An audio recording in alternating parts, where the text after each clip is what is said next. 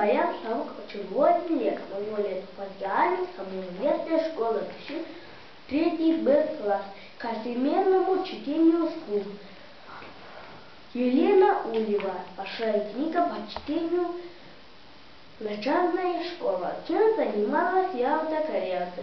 Жила в одном доме бедная старушка. Ягода Корявка ее звали.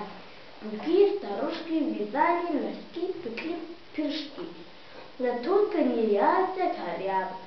Она посматривала со всеми детьми, записывала все их поступки в свою книжку и качала головой. Ай-яй-яй, а потом приходила к их родителям и начинала я А Сережа уронил подпелушу, а Маша потеряла варежки, а котик хотел по газону. Всегда, добавляла свою, свою ай-яй-яй.